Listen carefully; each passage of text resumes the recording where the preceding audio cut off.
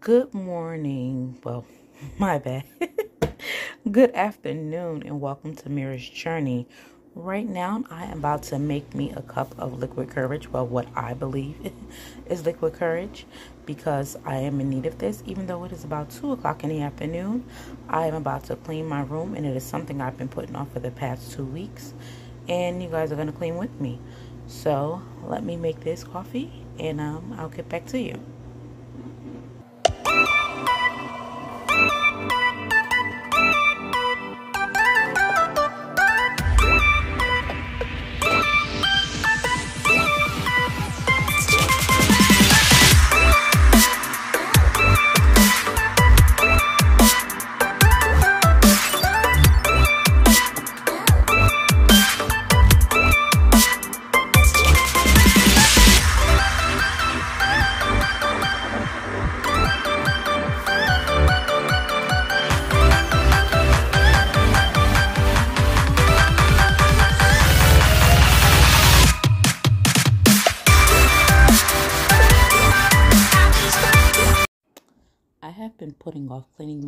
For the past two weeks. Usually I clean my room every week, but I have been putting it off for the past two weeks because I have been mentally exhausted. I am a mama three and a wife, and sometimes I get really tired. So I needed a mental break. So that's what I did. Instead of feeling like I had to clean up my room and get to it immediately, I took some time off. Yes, two weeks time. Even though I cleaned some of the rest of my house, I did not clean my bedroom. But now that I did, I feel so much better. It is okay to feel mentally exhausted. As long as you get up and you do it, you give yourself the time that you need to recuperate and get up and get it done. I know I know it's easier said than done, but you can do it. Let's get up and get it done.